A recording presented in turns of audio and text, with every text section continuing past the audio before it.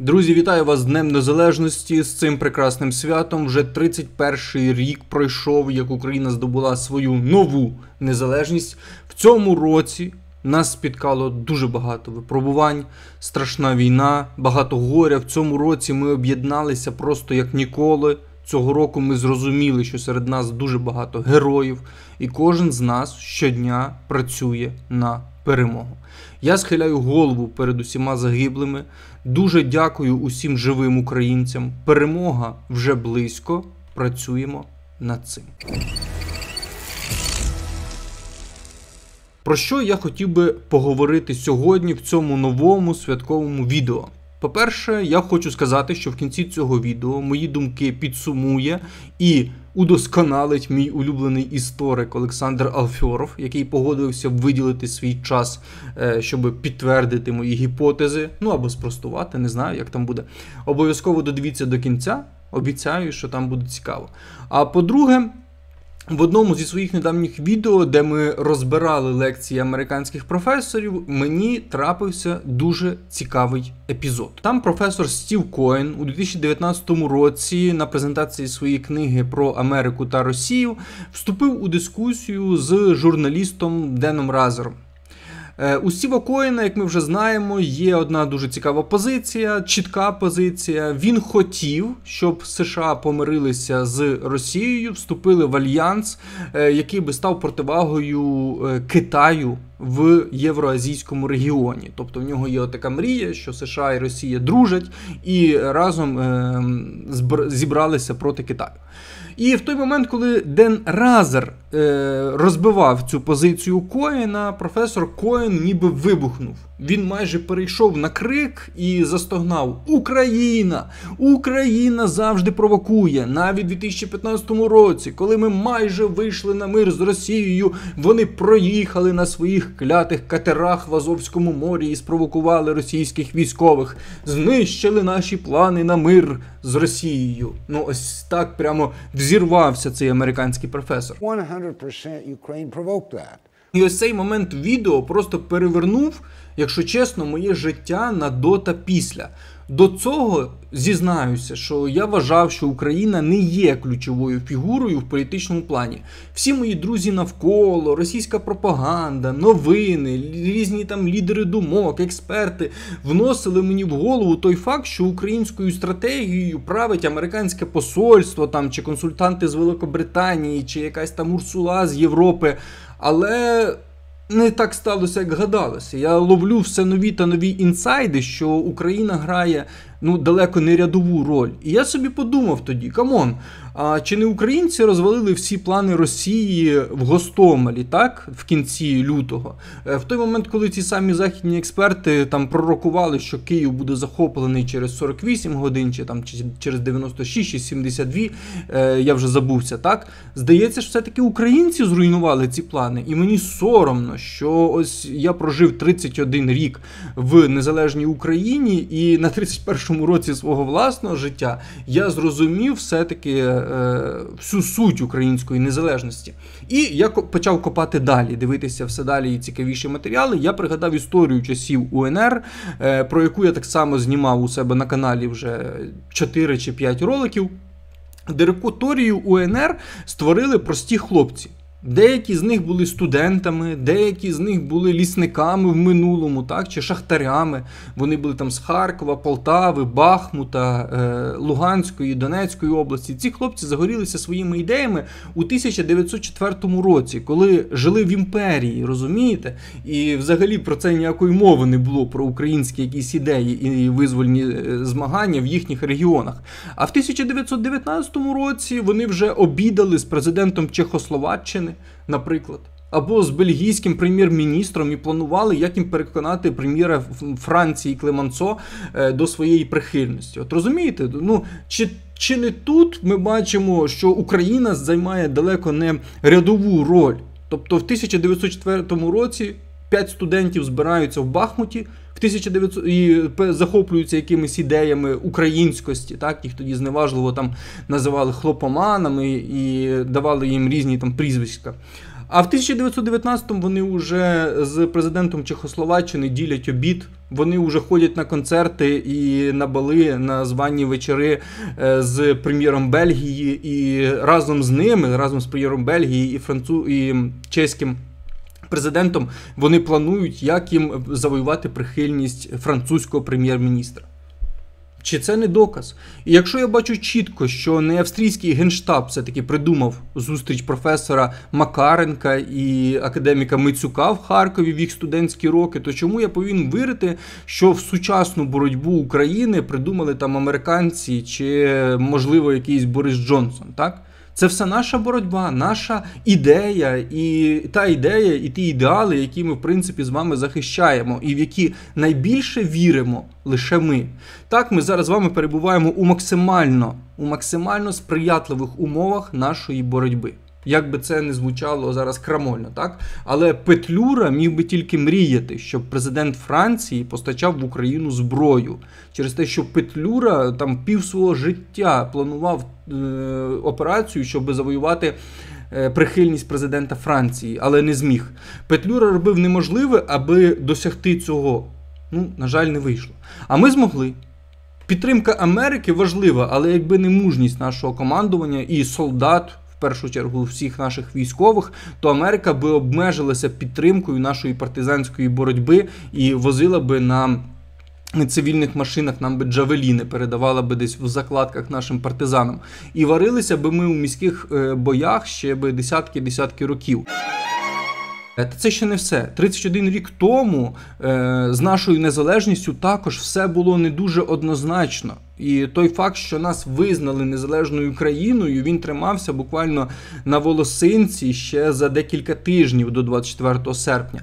За три тижні до проголошення незалежності України до України приїжджав Джордж Буш старший. Він виступав з трибуни Верховної Ради і сказав, що, шановні українці, е, я бачу, що ви хочете пізнати там е, нові грані свободи, нові е, грані демократії і так далі. Ви молодці, що експериментуєте експериментуйте, пізнавайте вільний ринок. Він каже, нову освіту. Ми будемо підтримувати вашу боротьбу за демократію та економічні реформи.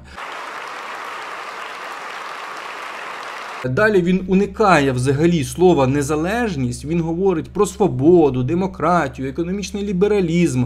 Він каже, що ми не хочемо обирати між Горбачовим і лідерами в республіках, які хочуть незалежності. Ми підтримуємо тільки вашу демократію. Тобто голосуйте як хочете, але зважено, так. Він говорить про радянські землі, тобто він взагалі не вживає за три тижні до проголошення української незалежності. Американський президент не хоче казати слово незалежність у Верховній Раді. Е, Про стосунки з центром СРСР і республіками він розповідає там чи, чи не годину. І взагалі його промова вона виглядала як засторога. Типу, шановні українці, у вас уже є свобода, у вас буде свобода, демократія, гласність, вільний ринок в рамках СРСР, в рамках перебудови на чолі з Горбачовим у вас все уже є. Він навіть е, застерігає українців від так званого суїцидального націоналізму. They will not aid those who promote a suicidal nationalism based upon ethnic hatred. І в принципі американського президента 1 серпня 1991 е, року можна зрозуміти, Ірак воює на той час з Кувейтом, готується там операція Буря в пустелі, США займаються тим близьким сходом, і тут з'являються новини, що нова країна з ядерною зброєю так хоче оголосити про свою незалежність через три тижні. Е, воно їм ну відверто сказати, було нафіг не треба. Він готовий це відкладати був. Е, він щиро хотів зберегти СРСР у тому вигляді, який був е, ну, на період там липня. 1991 року. Але українці в той момент відчули шанс. Їм було плювати на те, що Пентагон зараз хоче воювати в Іраку, а не підтримати українську незалежність. І наш шанс, в принципі, реалізував великий український дипломат Микола Горень і Леонід Макарович Кравчук вони вони зробили велику справу. Ну незважаючи на те, як зараз дуже багато ставляться так до е, покійного нині президента Кравчука. Е, Проблема, велика проблема Америки, наприклад, була в тому, що їх розвідники е, вони робили розвідку про стан всіх республік у Москві. Вони не розуміли України. Вони, в принципі, не знали, що ми це окремі інші люди, і вони були вражені уже в перспективі розмовами з українцями та їх прагненнями.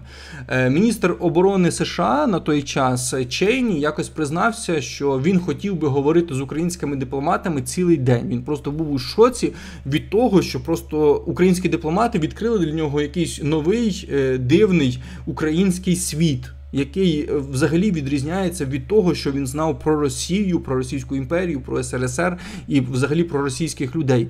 Україна дійсно його е, вразила. Уявіть собі, там що е, такі обставини, що американці вже домовилися з Горбачовим про демократію в СРСР, що СРСР буде змінюватися, він буде демократичним, там будуть вибори. Американці вже спланували, що там на цих виборах виберуть е, проамериканського президента. Е, Є якісь домовленості вже там про знищення, чи про взаємообмін е, чи обмеження ядерної зброї. А тут відбувається щось таке, що нік бісу не здалося США. Пентагон боїться, що Москва нанесе удар у відповідь е, там на сепаратизм Києва, або Київ нанесе удар по Москві, якщо Москва не погодиться про вихід Києва із РСРСР. За документами е, з Вашингтону це все виглядало як Армагеддон і ядерна війна. От от уже почнеться між Києвом і Москвою. Тобто настільки ну помилялася тоді розвідка США взагалі в ситуації, яка творилася в СРСР. Але українські дипломати просто поїхали туди до Вашингтону. І переконали, е, це все не так. Е, без власного там, скажімо так, офіційного статусу вони були ну буквально вони представляли один із регіонів СРСР. Так просто на словах вони запевнили західних чиновників тому, що все буде під контролем. Друзі. Е, в принципі, на цій мажорній ноті я хочу зупинитися через те, що ціль цього відео не погрузити вас повністю в екскурс е, історії, а в тому, щоб ви просто на секундочку задумалися, посіяли в собі це зерно, що ми граємо зараз провідну роль, якщо не в наш, якщо не в світі, то точно в євроазіатському, євроазійському регіоні. І на нас зараз дуже велика відповідальність. І ми перевиконуємо очікування всього світу. Ми неймовірно круті. Ми приймаємо правильні незалежні рішення. І ми зараз боремося за те, щоб приймати ці рішення і надалі. І наші майбутні рішення будуть все більш та більш епохальними і більш та більш розвивати і нашу країну, і весь євроазійський е, регіон. Я хочу, щоб сьогодні кожен із нас це збагнув, що ми давно не пішаки в світовій історії, дуже давно. І під час УНР ми досягли свого, і в радянському Союзі більшу частину його існування ми, в принципі, українці були при владі, так і незалежність е, ми самі вигризли своїми зубами, і що це українці розвалили в принципі СРСР, а не американці, як е, це зараз розповідає російська пропаганда. І наша перемога, і наше майбутнє, що головне, виключно в наших руках.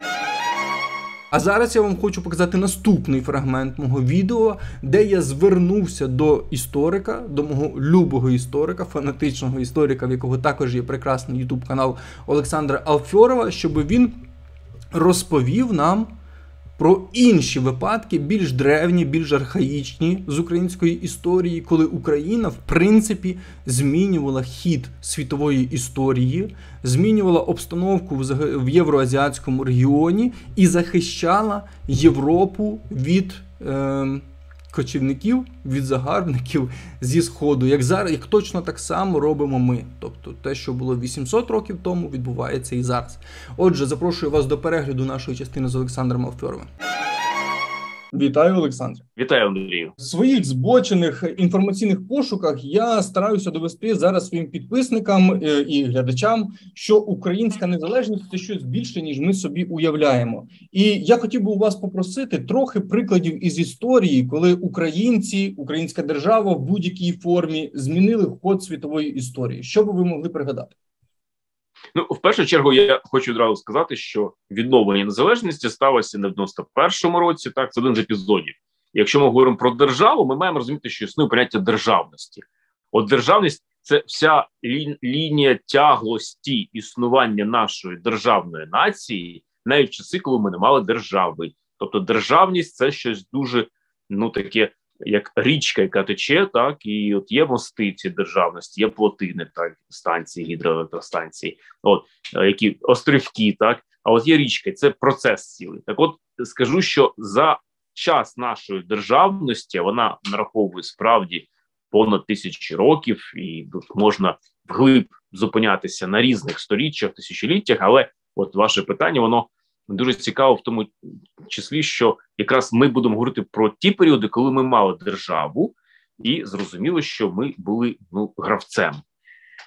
Я би почав би, наприклад, з князя Святослава Ігоровича, Святослава Хороброго, сина княгині Ольги та сина князя Ігоря, так батька Володимира Святого, той, що на одній гривні.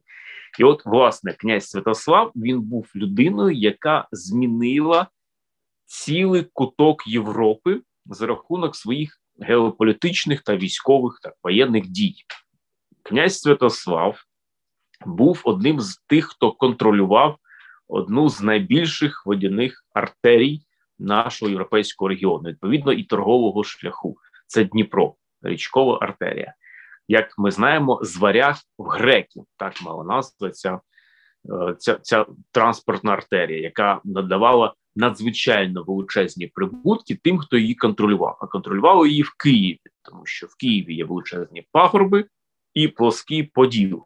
Тобто люди на пагорбах мають замок і дивляться на Подолі на правому березі, мають можливість розташовувати і надавати всеможливі, всеможливі логістичні послуги, перекладу, харчування і тому подібне. Тож Київ контролював. І Святослав зрозумів, чим більше ти контролюєш цих потоків, ну грубо кажучи, ми всі з вами знаємо фільми про гангстерів, так і про людей, які намагаються контролювати наркопотоки, так потоків зброї, потоки е, в it технологіях навіть. То уявіть собі, що в 10 сторіччі хто контролює потоки работоргівлі і засобів розкоші, був людиною, ну яка спромоглась би створити таке хороше королівство на рівному місці. Так от Святослав контролював цей Дніпровий шлях, і він зрозумів, що він ще може контролювати ще один шлях: це вихід з Дону, а там Каспі, е, великий китайський шлях ішов гілочкою на Каспій, з Каспія на Дон, з Дону в Азовське море, через Керченську та Таванську протоку в Чорне море і до наших тут чорноморських вже країн. І от Святослав почав е, захотів контролювати Дон. Для цього він розбив військовими походами величезну імперію східну, яка має назву Хозарський Каганат, тобто держава, яка контролювала від, е, скажімо, від наших східних кордонів сьогоднішньої України до туди Волги, так і по Дону. Це величезна величезна імперія, і от роз він для того, щоб Святослав для того, щоб контролювати донський шлях, гілку китайського великого шляху, він розбиває хазарський каганат. Зникає держава, яка сотнями років існувала на цій території і була домінантою. Потім Святослав іде на на Болгарію, де є ще Дунайський шлях європейський, і він захотів контролювати ще і цей шлях, тому що вони були надприбуткові. І от якраз діяльність Святослава, яка по суті можна її звести ну з 960 по 970 рік, тобто там там навіть 10 років, так от грубо кажучи, не, не було цієї діяльності, але він за рахунок походів військових, за рахунок грошей, які він закамулював в Києві і почав контролювати інші території, він по суті змінив траєкторію економіки Європи і торгових шляхів. І от якраз донський шлях, вихід з Дону, контролювали наші князі е, київські та чернігівські. Це те, що ми називаємо Тмутаракань, тобто земля на е, західному Тамані та східному Криму. І от ми змінили торгові потоки, ми змінили логістичні потоки, економічні за рахунок кількох вдалих походів цього князя. Тобто, по суті, він в 960-970 році змінив траєкторію цього е, кутка Європи. І оце дійсно було таке парадоксальне явище, коли смілива людина за рахунок сміливих реформ в армії, за рахунок бачення економічних можливостей, просто змінює тут ну, всю гру і всю кон'юнктуру. Цікаво. В мене невеличке уточнення, точніше, невеличке запитання. Е, Я наскільки знаю, що сучасні, наприклад, греки із древніми греками не мають майже ніякого генетичного зв'язку. А що ми можемо сказати про е, часи X століття? Чи є у нас якісь свідчення того, що зараз в Україні десь живе нащадок Святослава Хороброго, наприклад? О, ну нащадків Святослава Хороброго живуть дуже багато в Україні.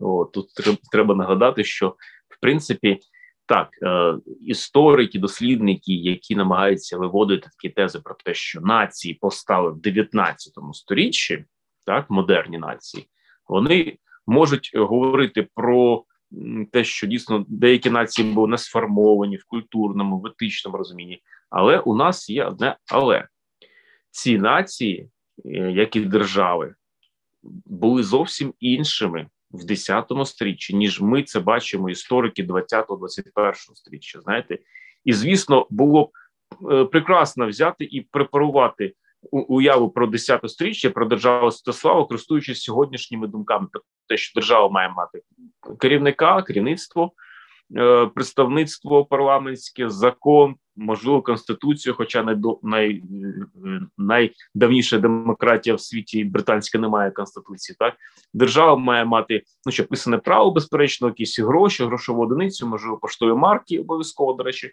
Е, свою армію в 10 сторіччі цього могло не бути. В 10 сторіччі, який весь період середньовіччя, всі держави це монархи. От є монарх, король правитель. Він через Боже Боже помазання є володарем цих територій. І всі, хто входить в його державу, це люди, які є по суті, ну е, є його народом. І тому, коли ми говоримо, чи є кров е, в в нас Святослава, безперечно, є, тому що українці, точніше, ті люди нікуди не дівалися. Вони е, змінювали назви держави, вони змінювали назви себе. Тобто, наші предки називалися русами, русинами, потім там е, українцями, громадянами СССР так е, або громадянами української там України, так сьогоднішнє. Тобто, ми говоримо про те, що дуже багато різних е, знаменників, от але все це не про істориків, які і дослідників, які намагаються з 20-го стріччя подивитися на тисячі років тому. Тобто, держава Святослава це його особисте володіння, особисте тримання. Він керує людьми, які там є народом. Відповідно, ми маємо з цим просто змиритися. Супер, дуже цікаво. Окей, е, мені дуже сподобався ваш е, приклад, але от якщо ми звернемося до якихось аналогій із сучасною ситуацією, чи були колись такі випадки, коли Україна е, або ж територія, яка була на наших землях, та держава, як би вона не називалася, е, ставала якимось знову ж таки щитом Європи від е, якоїсь навали? Безперечно, тут ви знаєте, є е, відома пісня, фрагмент пісні. Я зараз процитую, яку склав гетьман Іван Мазепа. Ой, горе тій чайці небозі, що звило гніздо на битій дорозі. Так, і от якраз Мазепа вже розумів, що це битий шлях. І от уявіть собі, не треба бути істориком, просто подутись на географію. Наша держава є європейською країною, на схід від якої нема Гранд Каньйону, але є інша цивілізація євразійська. На південь від нас є ісламська цивілізація. І от ми з вами знаходимося, так сталося унікальне через цю унікальну географію. Ми знаходимося на перетині ще двох цивілізацій. Це нам дало неймовірну кількість бонусів нам, українцям, і тим людям, які тут жили, мешкали сотні, десятки років, тисячі. Це навіть на рівні генетичному. І от якраз ми маємо тут е, теж зрозуміти, що окрім того, що тут є перетин цивілізаційний, до нас доходить ще цей степ, який починається там в Китаї, і тисячі кілометрів сюди йде. І цей степ, якщо в Китаї якась проблема у кочівників якогось племені, воно штовхає інше, то інше, і принцип доміно до нас докочується постійно супротивник цим степом, цим шляхом прямим. І от якраз наші предки мусили завжди оборонятися. Це навіть на рівні ментальної, там генетичної наше. Ми завжди в обороні. Ми завжди можемо швидко моментально самоорганізуватися. Ми завжди можемо битися різною зброєю проти різної зброї. Ну там у нас величезна кількість насправді є цих от ознак. І от одна з тих от битв генеральних, яка сталася на території України, це 13 сторіччя, точніше, 1200 1240 рік, коли сюди прийшли завойовники. Оцим степом з Азії це були монголи, які планували побудувати свою імперію і закінчити її отам ген на Британському острові. І вони сюди прийшли, і наші князі так не всі разом, але більшість з них е, встала в кривавий бій. По суті, монголи знищили на території України 99,9 е, фортифікаційних е, споруд по відсотках. У нас в Україні є лише три міста, які ну не були знищені монголами, щоб ми це зрозуміли. Але в цьому кривавому бою, коли по суті ми бороли, боролися так, як, наприклад, чеченці боролися з росіянами в Грозному, вулична боротьба, то тут вона точилася. Коли монголи в перший раз не змогли взяти Київ, вони винищили всю околицю Києва, щоб зруйнувати логістику, фураж, під, підтримку будь-яку. Тому оця битва, яка для європейців була спочатку спостереженням, бо монголи все ж таки пройшли тоді Русь і вийшли на території Європи, але вже не тими загонами, якими з якими вони прийшли на Русь. Вони вже вийшли ослабленими, вони вже вийшли, не маючи за собою тилу. І по суті, українці.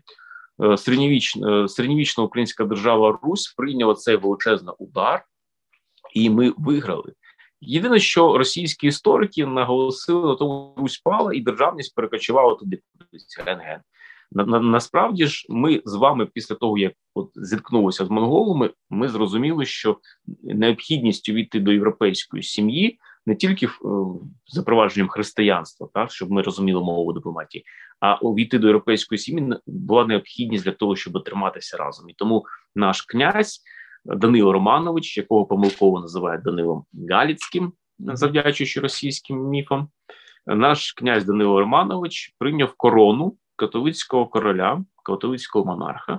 І, до речі, це зіграло з нами величезну роль для державності української, адже в цій короні, навіть після того як вона пішла, розчинилася в жіночих нащадках, да, бо нас Русь так і не завоювали. Е, чергово повторюю, що правили монархії, а і держава це зовсім інший аспект.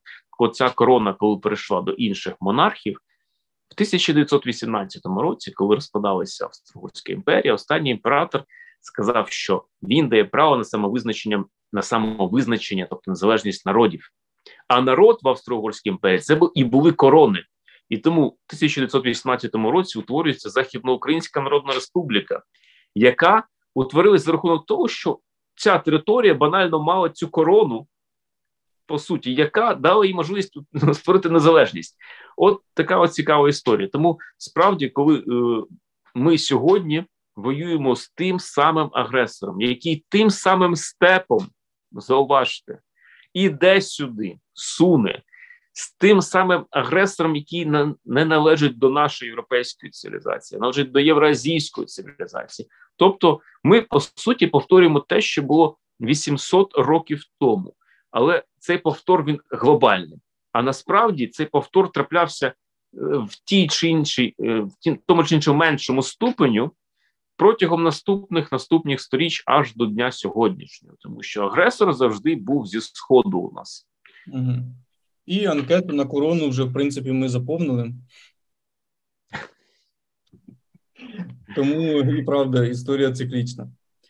Окей, е, дякую вам велике. Я знайшов трохи більш сучасні приклади. Ви їх доповнили більш е, древніми, і ну я не знаю, вони мені виглядають більш якимись глибинними. Е, Арха... Архаїчні, так, на рівні Арха... генетичної пам'яті. Так, так, архаїчні, але насправді, ну, якщо там дивитися історію, то 10 століття, це чи навіть 13, яке ви згадуєте, це буквально було позавчора.